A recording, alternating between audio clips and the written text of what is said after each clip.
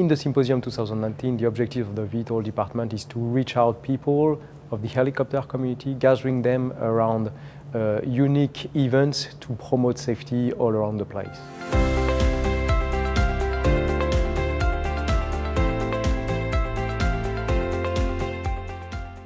VTOL is important for the entire society. You may see HEMS operations, so uh, emergency medical services, uh, that may save your life at some point in time in, in, during the whole life.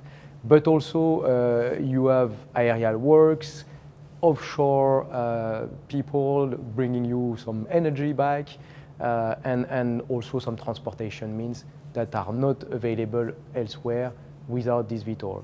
A second aspect is also the new urban air mobility area, where uh, we have a full range of development and may bring additional so benefit to the society, and we are working hard on that.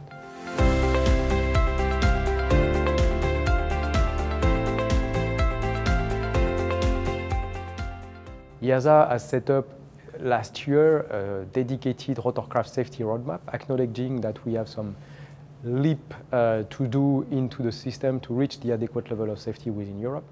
And this roadmap is published on our website, so I encourage you to have a look, having a comprehensive uh, approach from all fields of, of the aviation system.